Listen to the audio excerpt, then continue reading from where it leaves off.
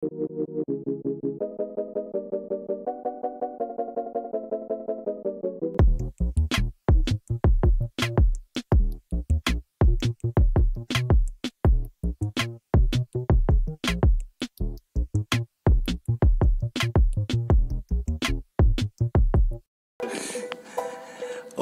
assalamualaikum semuanya sobat jersey yang ada di rumah yang sedang menikmati WFH ya, work from home atau stay at home, mengisolasi diri, pribadi mandiri. Sekarang kita ada bincang bintang bersama apa ya, punggawanya timnas U19. Nah, angkatannya Stanzio nih. Kita eh, simak dulu ceritanya beliau ini bisa sampai main sepak bola seperti ini dari mana awalnya segala macam boleh diceritakan dulu perkenalkan nama deh Assalamualaikum warahmatullahi wabarakatuh. Perkenalkan nama saya Arya Putra Gerian Senior Lawolo. Bisa dipanggil Arya atau Gerian. Arya atau Gerian Iya. artinya itu apa itu Yang- Arya Gerian saya yang agak penasaran itu Gerian kenapa kok R nya double Itu karena nama almarhum bapak. oh nama almarhum Iya. Gerian ya Nama bapak saya Darwin Geri. Geri. Geri Lawolo. R, R nya double memang. Iya sama. Terus ceritakan lagi Iya. Saya berasal dari Samarinda Seberang. pemerintah ya putra asli sama Iya putra. Mangkupalas. Mangku Palas Iya. alamatnya ya. Iya Mangkupalas alamatnya. kelahiran tahun berapa 2001. tanggal lahirnya boleh disebutkan deh Tanggal tahun tanggal 24 Oktober 2001. wah masih muda sekali ya 18 tahun. 19 kan Iya. 19 kan Ya. lanjut lanjut ceritanya Berawal, berawal saya main bola ya? ya awalnya dari SSB kah Ya, Apa? saya SSB Harbi. oh dari Harbi Iya, sama-sama Rizky, sama-sama sama Rizky segala ya Iya. sama Junaidi Ya, ya itu senior saya dulu. Ya, dia SSB. Banyak ya, berarti lulusannya Harbi ya Iya, banyak banyak. sepak bola profesional ya Iya, Harbi habis itu setelah saya umur sekian sekitar 7 tahun atau 10 tahun. oh, dari umur berapa itu masuk di Harbi Dari pertama kali Harbi dibikin 2010. 2010 Arya masih umur 9 tahun. Iya, 9 tahun. Ya, sebelumnya itu masih latihan sama ayah kan, kan dari kecil memang Ayahnya sepak bola juga? Enggak, tapi dia mau mimpi dari kecil. Sudah umur berapa SD itu? Sudah mimpi memang jadi pemain bola. Disuruh. Ya jadi kalau sekolah apa katanya? Nggak usah sekolah katanya. Main bola aja katanya bapak. Iya didukung sekali. Iya didukung sekali makanya pernah kan saya nonton di Segiri Persisam dulu itu dia pernah bilang kalau dia bakal kamu harus berada main di sini ditonton orang. Kamu harus ditonton orang bukan kamu yang nonton lagi kata dia bilang. Sekalinya alhamdulillah iya terkabul. Itu terkabulnya setelah eh, sebelum ayah meninggal atau Se- se- eh, sesudah sesudah sesudah. Sesudah sesudah. Sudah ayahnya meninggal baru terkabul ya? Iya pas sudah di next senior juga iya impiannya bapak kan tercapai. Dia bilang ya itu kamu harus main di tempatmu sendiri dulu. Doanya ya dari kecil nggak pernah hilang perasaan bapak kalau tentang main bola. Nggak jauh pokoknya ya sampai sampai jarang ke rumah mama. Ya kan ma- mama sama bapak saya cerai oh gitu Iya dari kecil. Jadi saya ikut ayah saya SD dikenalkan main bola. Makin senang main bola terus sampai umur 10 tahun dimasukkan di Harbi. 2010 habis itu kalau yang belum tahu Harbi itu cikal bakalnya apa Persisam ya ya Persisam ya. punya Persisam itu kan Haji Harbi ya. Harbiansyah Ya kan? ya. Yang dia punya sekolah sepak bola namanya Harbi Harbi Iya. ya benar. sebelum dijual menjadi Bali United Nah, ya benar-benar. itu ceritanya kalau Ya. yang belum tahu kan itu Ya itu sedikit ceritanya benar. Ab- lanjut lanjut ceritanya Abi abis dari Harbi kan itu sudah umur berapa ya? 16 tahun, 15 tahun. Ada pembukaan pendaftaran. Tapi diskoy, diskoy. oh sekoy Iya, Olahraga largawan. kayak Ya, Sipaja ya. iya, lulus SMP kan katanya almarhum bapak kan itu masih hidup bapak dia bilang. Kamu coba daftar aja di Skoy katanya. Coba daftar SMP saya seleksi sana sama bapak. Didampingi kan seleksi seleksi seleksi nggak lama lolos alhamdulillah. Lolos di sekolah sekolah ya jadi itu katanya diasramakan terus dibiaya selama tiga tahun. Lain di Palaran. Oh yang di Palaran? Iya. Yang Palaran. Pemerintah yang anu kan yang nanggung. Semuanya pokoknya dari makan gaji juga. Udah dapat gaji ya? Dapat gaji iya dapat sebulan Itu olahraga apa aja? Semua jenis. semua jenis olahraga ya jadi asrama semua perempuan cowok Saya punya temen yang gulat tuh juga sekoi. ya sekolah ya jadi banyak kayak gulat silat karate semuanya gabung Itu ya. ya jadi kalau latihan pagi sore setiap hari ya Itu free ya dari pemerintahnya sekoi itu ya. ya free gratis tapi harus seleksi gitu Seleksi dulu. ya setelah lulus dari um, alhamdulillah masih main itu di Borneo 16 Borneo 16. ya Borneo 16 habis itu main liga main liga terus main liga udah lama dapat panggilan timnas pemantauan timnas Tapi itu udah masuk ke Borneo FC. Waktu pemanggilan timnas itu belum. Borneo U16 Udah Borneo U16. Iya, udah, udah. Seleksi Itu masuk ke Borneo U16-nya seleksi. so ya seleksi seleksi Seleksinya di Samarinda aja ya. dari Samarinda di Sempaja itu menurut salah Di Sempaja ya. ya udah Lapangannya. Iya, udah, udah lama Belum, belum. masuk 16 kan sudah sampai pertandingan itu udah lama sudah selesai pertandingan. Katanya kalau saya bakal ada pemantauan ya udah main aja ya main aja. PSSI ya, ya. udah lama.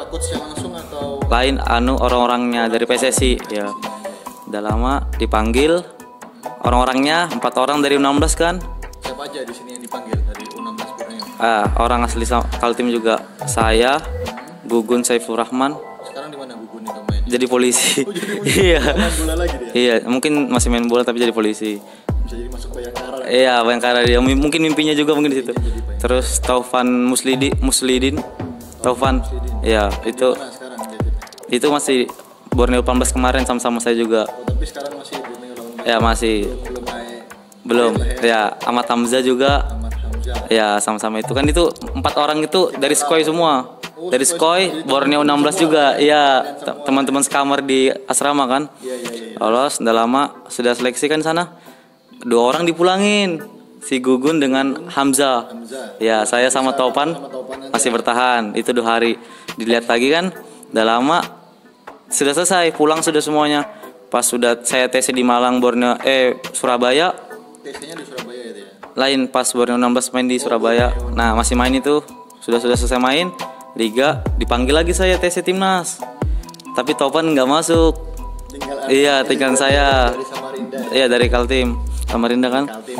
udah lama saya ikut terus saya ikut terus. Sudah mau berangkat ke Vietnam itu. Oh gitu udah udah mau. udah iya udah mau ke Vietnam. Tinggal dua orang kan tiga orang di, dicoret. Ah, udah lama saya tercoret. Tercoret kan angkatannya Coach Fahri Husseini sama-sama yang Ziko bagus-bagus kan. Pertama kali pertama kali lolos tes timnas kan dicoret. Coret. habis itu mereka berangkat ke Vietnam. Yang juara dua di sana ya udah lama. Saya main lagi di Borneo 18 saya nggak mikirin kayak apa. Yang penting tetap berjuang lagi kan? Iya bakal terus. Borneo 18 saya main lagi Borneo 18 saya masuk lagi saya lolos. Tapi saya nggak seleksi Borneo 18 tuh. Udah saya sudah langsung masuk ya sama Topan sama itu yang lain setim. Tapi Gugun enggak, Gugun sudah di polisi tuh. Sudah masuk kan? Anak-anak sekolah lagi yang masuk semuanya satu paket. Dari U16 ke 80 satu paket. Itu paket semua. Ya sama anak Asifa Malang. Siva malah termasuk Ulul itu Asif. Ya sama-sama anak-anak juniornya Ulul itu masuk ke sini semua 18 kan jadi jadi satu sekolah dengan Asifa kan. Main-main main-main. Saya malah jarang main, saya jarang cadangan. Tapi kalau cadangan saya selalu maksimal kalau main kan. Ya demi ya, tim. Udah lama saya main-main-main. Angkatannya Sintayong ini, udah lama dipanggil lagi saya, dipanggil lagi seleksi.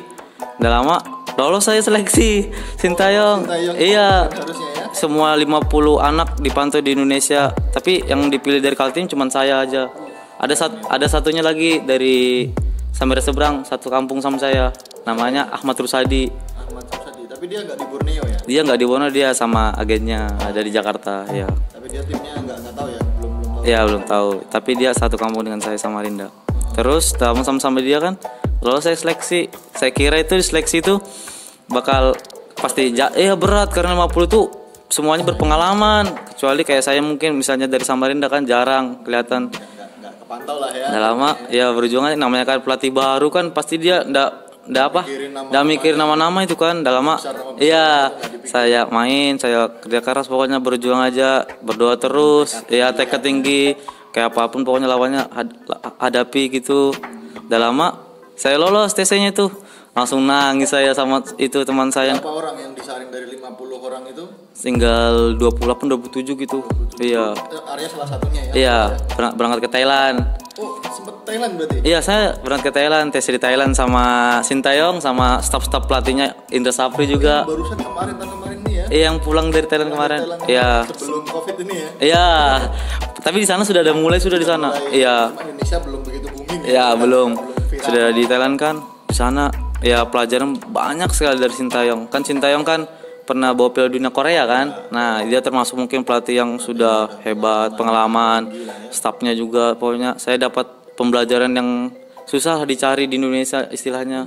Ya menurut saya, Berarti tapi nggak salah lah ya kalau PSSI ini mengambil pelatih Sintayong. Ya, Kemarin nggak salah. Terjadi perdebatan. Iya, ada juga perdebatannya mungkin. Kenapa kok dari luar? Iya, ada juga. Sini? Ya, tapi berharapnya kan Luis. ya, ya, Luis Milla juga bagus. Hmm, Tapi ini juga ya kalau saya kalau menurut saya saya ngalamin ya menurut saya ya ada peningkatan menurut saya karena apalagi fisik kan. Fisik ya. karena fisik juga di disuruh lebih tinggi. Kan udah mungkin bermain di dalam lapangan itu 90 menit pasti ada lebihnya kan. Harus konsisten. Dia ngasih tahu gini-gini. Di sana nggak ada latihan jarang latihan taktik. Tapi fisik terus digenjot ya. Sebelum kita ceritakan lebih banyak tentang Arya di timnas U19, Iya. kita break sebentar dulu. ya Ini tadi setelah sedikit berbincang-bincang sama Arya, ada kisah unik tentang namanya Arya sendiri nih ya. Dalam kurungnya kan Arya Gerian Senior. Senior ini yang saya tahu merupakan nama salah satu kampung di Kutai Kartanegara. Ada namanya Desa Senior di situ ya, yang banyak kebun sawitnya di sana. Nah, apakah nama Arya Senior ini berhubungan dengan itu? Kita simak ceritanya ini. Boleh Arya ceritakan?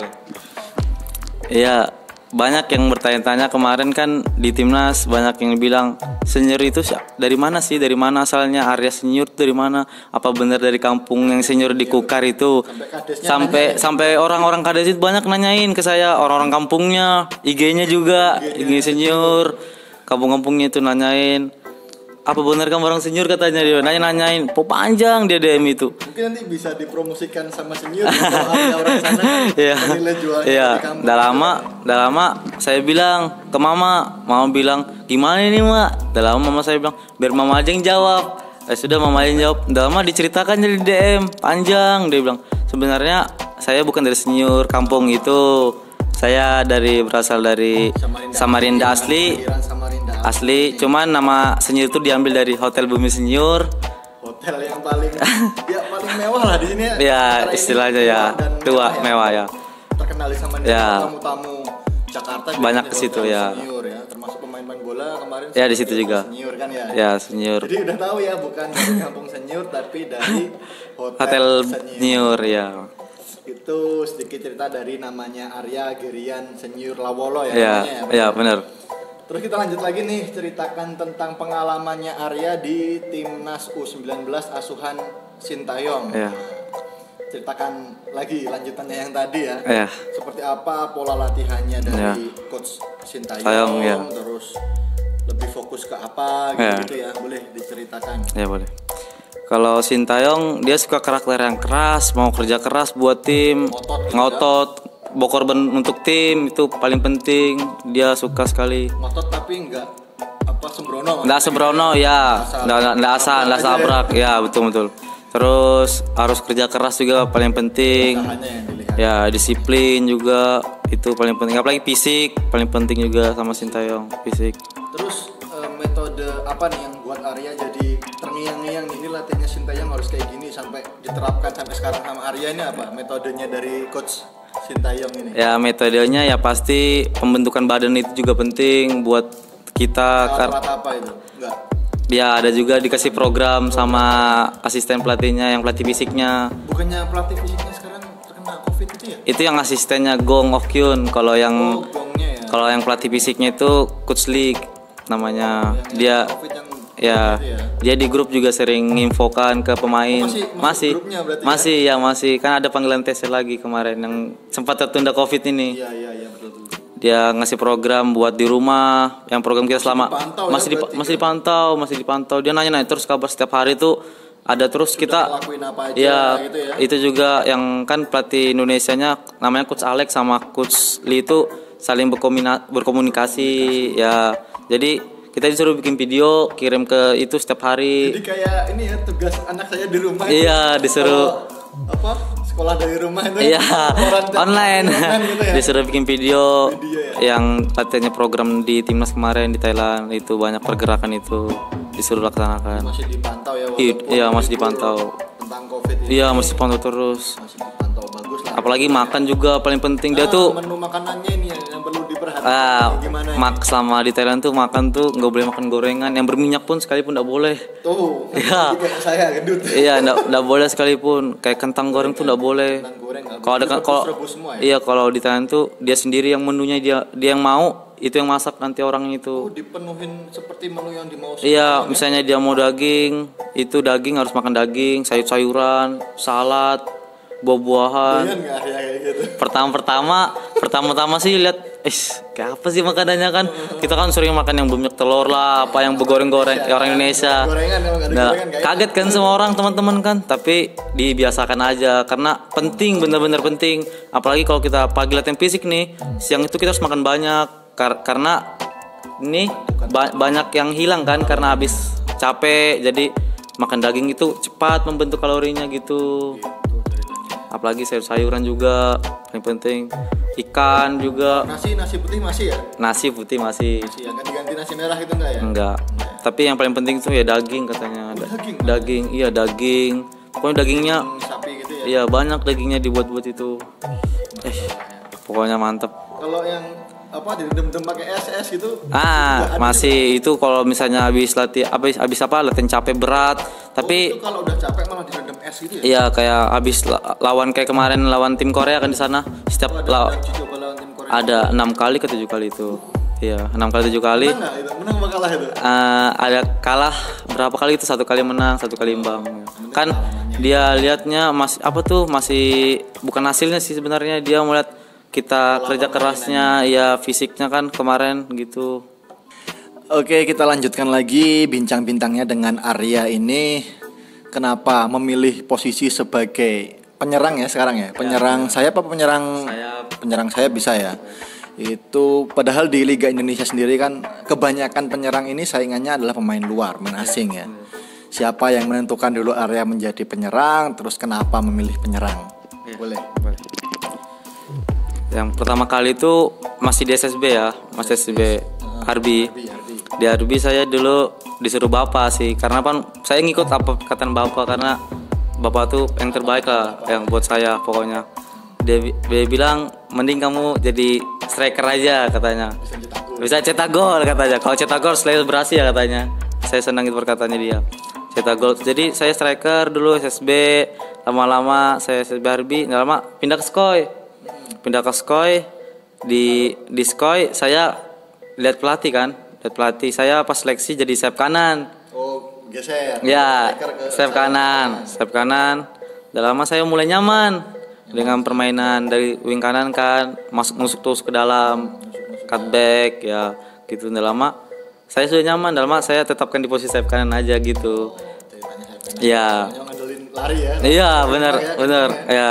Lari lari lama di Di Borneo. di di Borneo saya jadi sayap kanan juga sayap kanan sayap kiri gelandang juga kemarin sempat gelandang serang Tukar-tukar bisa lah ya. ya bisa sekitar situ bisa ya di timnas juga gelandang serang sama sayap kiri sayap kanan juga ya Nomor punggungnya Arya di Borneo ini ini Borneo senior sekarang sudah ya. ya alhamdulillah Nomor punggungnya berapa nih kalau boleh tahu nih ceritanya nih? nomor punggungnya dari Borneo 16 sih sama terus berarti. sama terus dari Borneo 16 18 sampai senior karena menurut saya belum mau ganti-ganti nomor dulu Nomornya itu. 76 76. Kenapa kamu milih nomor? Itu milih sendiri apa dipilihkan itu? itu karena terpaksa karena terpaksa Ada pilihan lain iya buat enam- 16 kan nggak boleh ambil nomor yang di senior sudah nggak boleh ada yang sama kayak nomor 24 kan tanggal lahir saya ada Cap Diego yang pakai 16 kemarin U16 kemarin kan udah lama ya. pakai nomor yang lain kan saya lihat-lihat lihat ah, udah 76 aja deh Asal pilih aja. asal pilih aja Ini milih sendiri ya, bukan dipilihkan. Ya. ya milih sendiri 76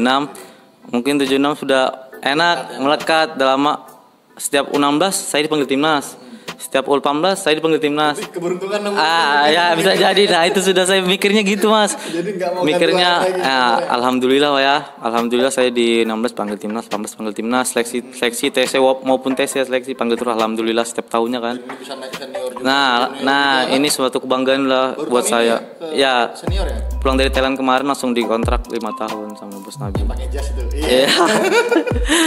Setelah itu ditanya mau pakai nomor berapa. Udah lama saya mikir, saya mau ga, saya mau ganti nomor ya, apa enggak ya? Ya Allah. Saya mikir kan. Tapi tujuannya ini sudah menurut saya beruntung sekali lah. Saya sampai sampai berada di tim senior ini menurut saya bangga sekali. Udah lama saya mikir, ya udah tujuh nama aja. Siapa tahu ada keberuntungannya lagi nanti ta- yang akan datang. Amin. Semoga dapat jam terbang. Ah, yang penting debut dulu. dulu lah. ya, amin ya Allah.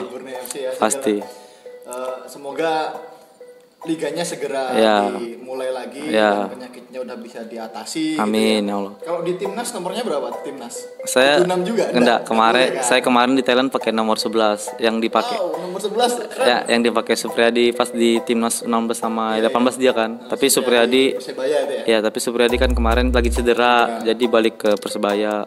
Jadi pas di sana nggak ada yang pakai nomor 11, langsung pakai nomor 11. Dikasih. Dikasih, Oh, dikasih Oh, dikasih. nomor 11. Karena Ya, sama posisinya wing ya. ya wing benar-benar. Supriyadi. Iya. Kita lanjutkan lagi nih pertanyaan berikutnya. Menurut Arya ini posisi 11 pemain best 11-nya ya, versi Arya main football manager nih kita. Itu siapa aja dari Liga Indonesia lah ya terutama ya. Ayo dimulai. Kiper Nadeo, Nadio Argaminata. ya. Mantap orang Kediri. Back kanan Di kanan Diego Michel, kapten. kapten yang Borneo Kapten. Ini alumni Borneo Jadi terus Teng- lanjut. tengah Javlon Gusenov Nah, backnya tengah Jablon. Lanjut lagi back berikutnya. back berikutnya pasangannya Japlon eh, Arthur Kunha Oh, Arthur yang kartu merah. ya back kiri Back kiri. Abdurrahman dari Penajam Eh, Rahman. Arthur Kalimantan. eh top memang dunia Poin terus. poin lagi tengah tengahnya Evan Dimas Evan Dimas Darmono. Oke. Renan Silva Renan Silva. Ini top-top semua ini. ini. Dan- Lanjut satunya Diego Campos Diego Campos. Ini pemainnya Bruno FC juga. ya Lanjut ke tiga striker. 4-3-3 ya. ya empat tiga tiga wing kanan Striker. Ah, wing kanan Terence Terence Puhiri Ya. yang main di Thailand ya? Ya. Liga Thailand. wing kiri Febri Haryadi Febri Haryadi. striker Juga ini ya, striker. Simic Ini pemain asingnya udah berapa tadi? Oh. Kosmik, Japlon, Arthur, Oh empat tiga. Pas saja Kampos Kampos. Pas saja. Empat itu. oh ya Tapi satu yang Asia enggak ada itu. iya. Japlon Asia ya? Japlon, Japlon Asia. Uzbek Iya Asia dong. Oh Asia Jadi masih masuk lah ya. Masih masuk. Best 11-nya Ya masih benar. Benar Kalau satu tim kan nggak mungkin kalau nggak ada pelatihnya. Ya nggak mungkin betul Betul siapa yang dipilih Arya ini? Pelatihnya Arya Gerian. Pelatihnya Pelatihnya siapa yang paling jos di Liga Indonesia lah? Ya ya hmm, Jackson F. Tiago Jackson. Tiago. Alasannya boleh dikemukakan. Coach Jackson. Alasannya dia bagus terus cara ngelatihnya juga bagus saya lihat sampai bisa bawa Persipura juara berapa kali terus Persi- Persip Kan sempat di Barito juga peringkat Iya, di- dia cepat. Iya, dia bagus. Terus supporter-supporter juga mendukung dia. nggak ada haternya Ya, nggak ada haternya, bagus saya lihat. Terus tetap rendah hati dia. Coach Jackson. Iya, Jason F. Tiago. Untuk channel saya ini kan lebih banyak membahas tentang masalah jersey. Nah, kebetulan Arya ini kemarin sempat menggunakan produknya Warix ya, yang timnasnya masih disponsorin Warix sebelum ditikung oleh Mills. Warix ini asli Thailand dan kemarin dia TC-nya di Thailand ya, sempat Thailand, bukan Vietnam tadi salah. Ya, itu bisa diceritakan kualitasnya seperti apa, dapatnya apa aja kemarin ketika membela timnas, produk wariknya dapat apa aja, eh, kualitasnya seperti apa, boleh diceritakan. Menurut saya Warix bagus kualitasnya dari bahan, baju polonya, celana training, itu semua, Dapat. polo, tre, baju baju polo tiga baju polonya tiga, warna hitam, putih, abu-abu tiga. Terus jaket satu, jaket warna merah, sama sepasang dengan celana trainingnya merah juga merah-merah, training, merah. Terus ya. ya da- dapat lagi Baju latihan. celana training. Celana training lagi tapi warna hitam. Warna hitam. ya terus dapat kos kaki.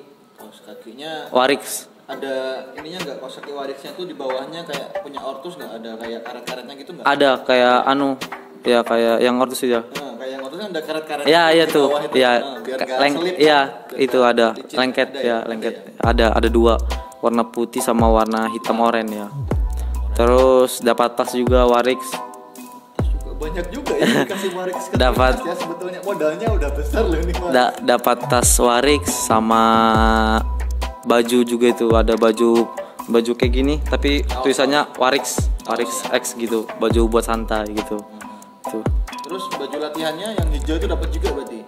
ya ada juga di sana Ba- ada bajunya tuh banyak warix Yang pink pink pink itu dapat juga. pink ungu Ya, pink ungu, pink ungu terus hitam hijau.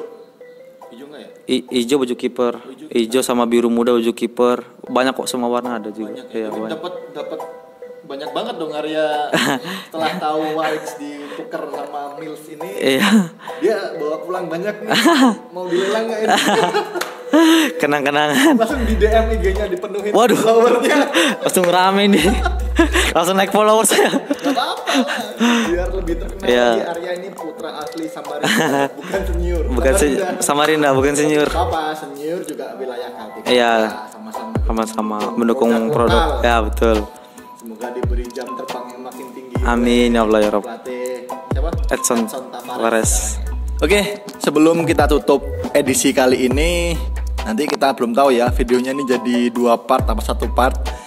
Eh, kalau dua, oke bisa jadi ya, part satu part dua kan. Eh, kita tanyakan dulu kesan pesannya Arya untuk para penonton sekalian yang di rumah segala macam. Terus ya dari Arya lah pendapatnya seperti apa segala macam uraikan semuanya habis itu kita closing oke? Ya saya eh apa sih? Astaga. apa pengen ngu- ngungkapin apa? Oh pengen ngungkapin mimpi-mimpi ya? Oh. mimpinya mimpinya Arya Ya. segala macam. Ya yang Curcol, curcol. ya yang pertama ya mimpi saya bagain almarhum bapak sama mama juga orang orang tua saya. dari bapak itu ya ya ini pasti debut ini yang debut yang di, yang di Segiri ini yang ditunggu-tunggu saya dari lama dari saya kecil. Dari pertama saya kali nonton Persisam itu di Segiri dengan bapak itu sudah pasti ada janji di situ. Sampai ya semoga. Ya mimpi juga bapak juga bilang bisa di timnas semoga bisa main di AFC Piala Dunia juga tahun depan dan bisa debut di senior bersama tim kebanggaan saya sendiri dari tim kelahiran saya ya sama bisa memberangkatin masih ada mama kan? Bisa memberangkatin mama naik haji insya Allah. Ya itu impian saya. Dari kecil pokoknya ya saya mimpi bapak saya harus terwujud itu aja. Ada lagi mau tambahkan Ya. timnas Indonesia harapannya? Ya semoga timnas Indonesia selalu jaya terus eh, sukses untuk AFC dan Piala Dunianya nanti tim tim senior maupun tim 19 juga U16 juga semoga bisa dapat meraih penghargaan yang terbaik untuk negara ini. Amin. Untuk Borneo FC sendiri? Untuk Borneo Tim kelahirannya? tim kelahiran saya untuk Borneo FC semoga bisa di tahun ini bisa jadi yang terbaik bisa juara. Amin. amin. Dan bisa berma- bermain di AFC amin. levelnya naik. Naik lagi ya. Biar bos Nabil beli pemain-pemain baru lagi. Oke. Boleh pinjam teleponnya Oke, tetap kita simak berikutnya video-video saya. Jangan lupa untuk subscribe ya, like and Komen. share, komen juga. Uh, kalau mau tanya-tanya tentang Arya ini bisa tulis di kolom komentar. Nanti bisa saya tanyakan langsung ke orangnya. Oke, pengen tahu apa? Udah punya pacar apa belum segala macam? Bisa nanti di diisi di kolom komentar ya. Oke, itu tetap beli jersey yang original karena itu semua membantu keuangan klub, bener? Nah, jangan beli yang bajakan, apalagi yang KW-KW GO itu sama dengan grade ori, sama dengan bajakan, tetap. Maka ketika kamu semua sudah melaksanakan itu menjadi orang yang VIP.